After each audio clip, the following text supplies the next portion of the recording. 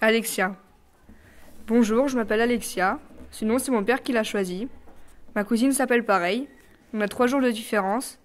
Bref, j'ai 14 ans. Je suis née à Blaye. J'habite à Saint-Aubin de Blaye. Bref, j'aime les pompiers, le football et surtout le métier de sage-femme.